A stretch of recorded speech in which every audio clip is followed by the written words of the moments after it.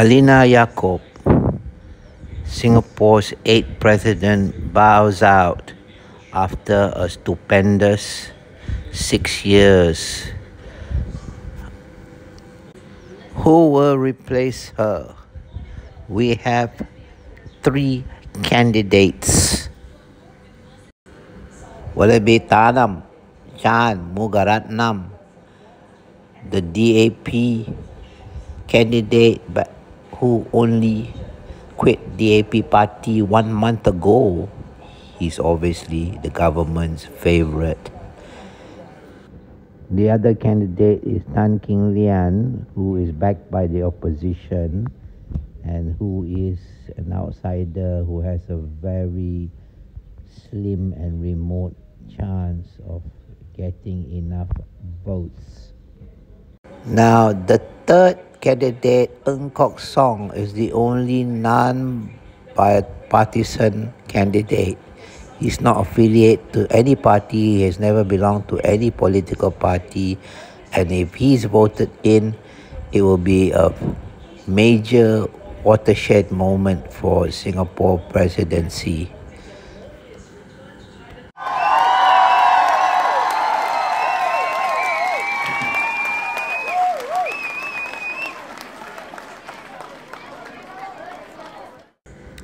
Mr. Tan, he is the former NTUC income chief executive officer and he has no chance of winning because he just doesn't have the experience, the know how as his other two rivals, unfortunately. So we can write him off. I really wonder whether Singaporeans will well, enough Singaporeans will vote in Tharman, the kind of incumbent and obviously government favorite, uh, especially since the government has been um, involved in some scandals recently. So maybe it's time for them to vote for somebody who is not government backed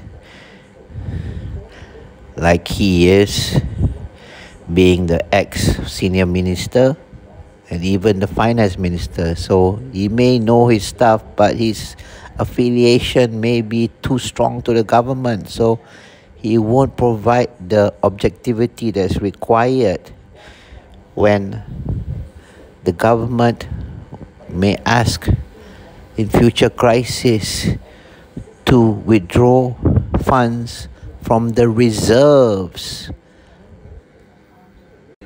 The most interesting candidate is Mr. Ng Kok Song.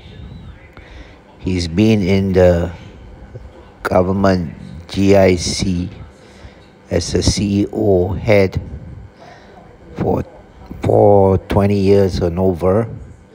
And he was before that he was in the MAS the the the assets money management government organization. So he's got all the savvy know-how of finance but most importantly he is not aligned to any party so if singaporeans really want someone who is not biased, then this is the man that they want. I imagine there'll be more future crises, and I'm afraid the government will try and draw from the reserve funds. But he is one guy who will need, the government will really need to fight hard to justify any request for withdrawal because he is very much against taking money out of the reserves and gamble on the future of Singapore. So let's see. This is going to be a very, very um, big vote for Singaporeans for this particular presidential election. It's like no other.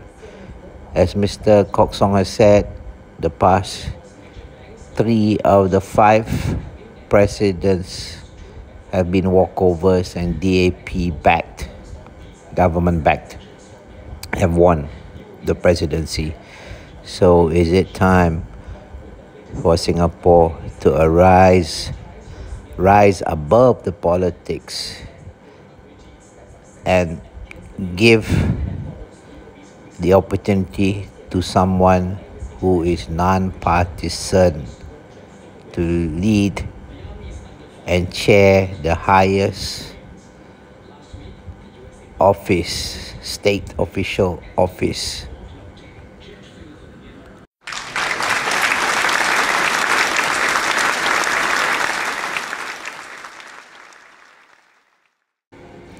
The voter turnout is very high, 85%.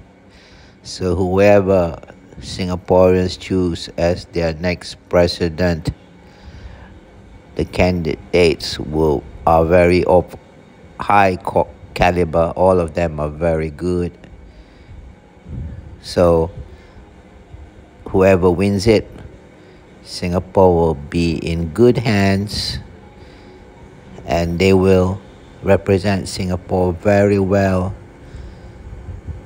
at home and internationally. So good luck. May the best man win. I know who I want, but I'm not Singaporean, so I have no boat. But you know, I'm very curious to see whether Singaporeans will continue to not take any risk or are they going to take a risk on unknown candidate who probably would work better for the future of Singapore amidst a global crisis.